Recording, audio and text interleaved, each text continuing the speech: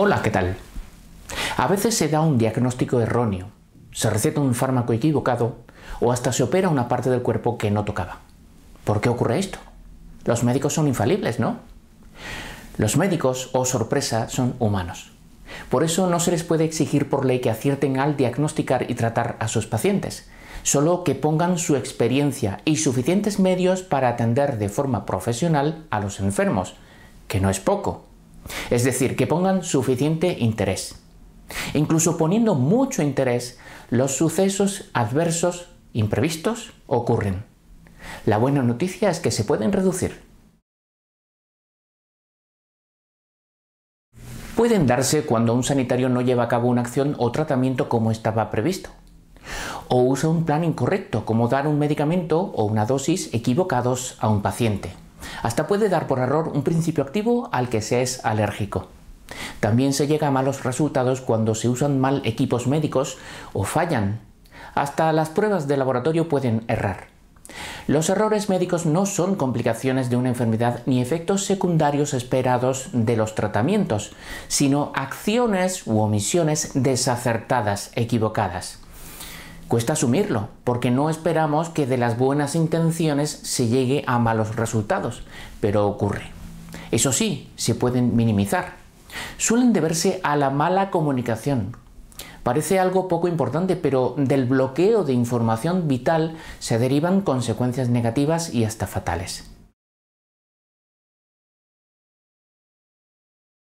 Lo mejor que se puede hacer para prevenirlos es participar en la atención sanitaria. O sea, se debe aprender cuanto se pueda sobre el problema de salud, los fármacos y el tratamiento.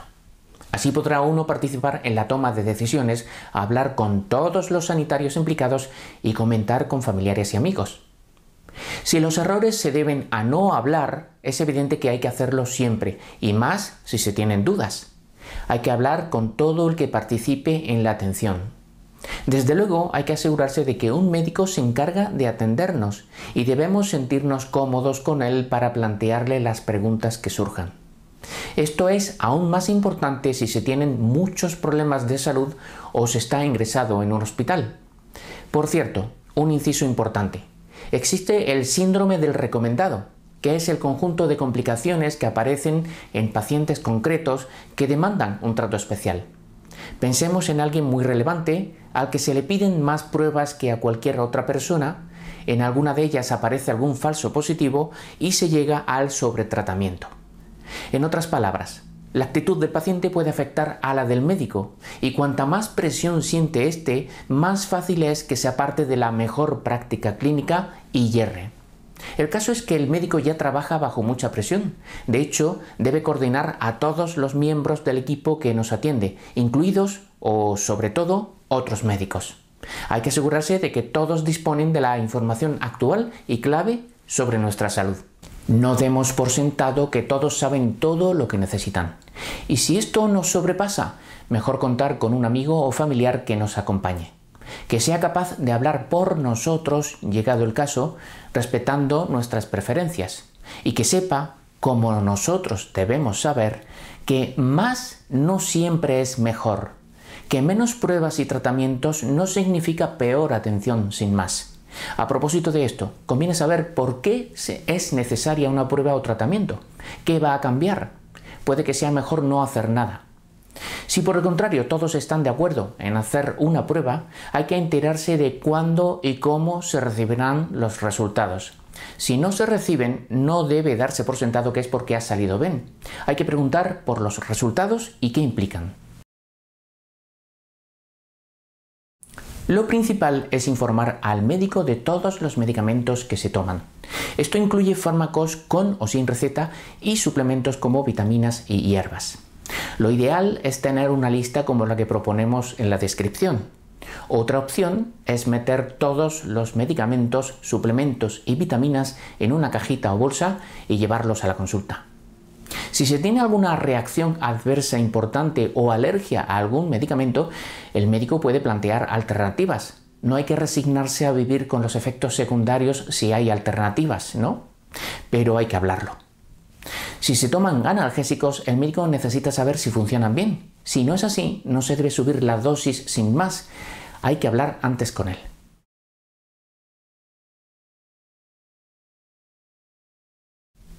Es fácil confundirse si se toman muchos fármacos, así que es vital preguntar por qué se toma cada uno y cómo.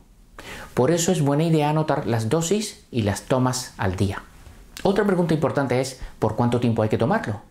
Hay que saber si se debe terminar todo el envase o se puede dejar cuando ya se sienta uno mejor. Más preguntas. ¿Es seguro tomar este medicamento junto con otros? Existen interacciones peligrosas y por eso hay programas informáticos que los detectan o profesionales muy buenos capaces de señalar estos riesgos. Pero de nada sirve si no cuentan con la información necesaria, claro. Seguimos con las preguntas. ¿Hay algo que no deba comer o hacer? ¿Qué hago si me olvido de tomar una dosis? En algunos casos hay que esperar hasta la siguiente toma, en otros se debe compensar la dosis. En el prospecto suele indicarse qué hacer. ¿Cuáles son los efectos secundarios? Es bueno saber cuáles cabe esperar y qué hacer si aparecen. Además, hay algunas preguntas para el farmacéutico como ¿es esto lo que me ha recetado el médico? Hay que asegurarse de que es el principio activo y la dosis correcta. Hay decenas de miles de medicamentos. Por eso, si al renovar la receta vemos que el tamaño, la forma o el color de las pastillas es diferente, hay que preguntar si el medicamento es líquido, ¿cómo nos aseguramos de medir bien? Una cucharilla de café puede tener una cantidad distinta a la indicada por el médico. También puede ser difícil ver la línea hasta la que hay que llenar una jeringa o un cuentagotas.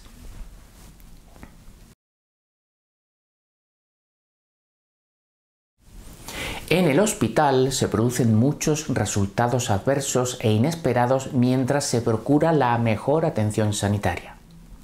Cuando se investiga un caso así, casi siempre se encuentra que ha habido errores humanos, fallos de comunicación, protocolos violados y cálculos equivocados. Los mismos elementos que suelen estar presentes en los casos de éxito. O sea, no es obvio cómo reducir los efectos negativos e inesperados durante la estancia hospitalaria. La iatrogenia, el daño involuntario causado cuidando a los enfermos, es un quebradero de cabeza y los sanitarios también son víctimas de ella. El primer paso es reconocerla, saber que existe, por muy tabú que sea. El segundo es poner de nuestra parte para reducirla. ¿Cómo? Vamos a verlo. Con mucho tacto hay que preguntar por la higiene de las manos. Ojo, cuando sea pertinente porque hay riesgo de infectarnos, sea el médico o la auxiliar de enfermería. Tampoco se debe aceptar nada sin que comprueben antes quiénes somos, ni comida, ni fármacos, ni tratamientos. Hablando de tratamientos, hay que preguntar por ellos. Por ejemplo, si hay que llevar una sonda urinaria o una vía intravenosa, debemos preguntar por cuánto tiempo, porque cuanto más tiempo, más posibilidades de contraer una infección que derive en sepsis. Y por último, al recibir el alta debemos recibir una hoja de instrucciones. Es importante entenderla y plantear las dudas que queden, ya se trate de actividades, comidas o medicación. Un caso aparte es acudir al hospital por una cirugía. Vamos a verlo en el siguiente apartado. Antes de la operación hay que preguntar si se tiene que interrumpir algún medicamento o dejar de comer o beber y con cuánta antelación. También se debe informar de si se toma algún suplemento o hierba medicinal, o si uno se resfría, tiene fiebre, gripe u otra enfermedad cerca de la fecha de la intervención. Por otro lado, conviene asegurarse de que todos tienen claro qué zona del cuerpo se va a operar. Puede pedírsele al cirujano que marque la piel antes de la cirugía. Es raro que la operación se realice en la parte errónea del cuerpo, pero pasa.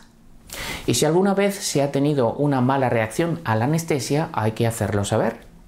Si aún no tenemos las voluntades vitales anticipadas, el testamento vital, este puede ser un buen momento para redactarlas y comentarlas con el cirujano. Si la operación sale como se espera, antes del alta, convendrá preguntar por los medicamentos que se necesitarán, qué se debe hacer y evitar en casa, así como qué dieta seguir. Por supuesto, hay que tener claro cómo cuidar las heridas y cuándo pedir ayuda. En fin, solo me queda desear que vaya muy bien. Espero que hayas encontrado útil esta información. Muchas gracias y hasta el próximo vídeo.